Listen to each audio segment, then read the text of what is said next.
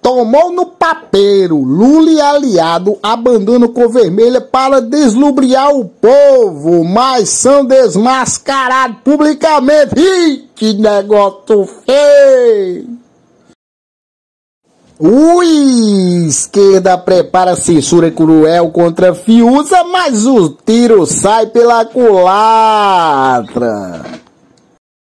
É chupa que é de uva, rangue ironiza desespero da velha mídia contra Bolsonaro e mostra que o povo acordou para a realidade. Ah, o negócio é desse jeito. Se você gostou desse vídeo, o que é que eu peço para vocês fazerem?